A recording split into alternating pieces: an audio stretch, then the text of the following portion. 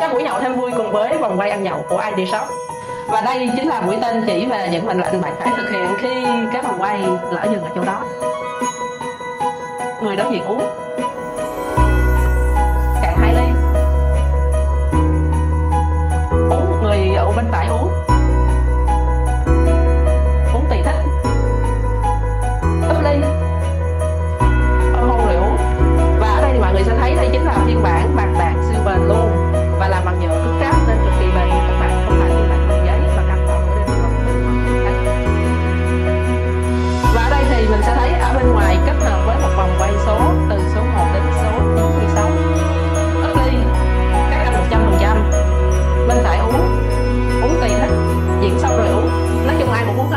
mình. Đây chính là một trong những cái điểm đặc biệt mà ID Shop bật mí với các bạn khi mua một quay tại ID Shop. So với những phiên bản truyền thống thì bạn sẽ thấy đó là bạn sẽ phải uống là, là uống một ly hai ly ba ly năm ly 10 ly và người khác mới uống. Nhưng nếu mọi người để ý về cái xác suất ở trên cái vòng quay này thì đa phần đó là đứa bên trái uống đứa bên phải uống và cách tất cả mọi người trong bàn uống ngoại trừ bạn.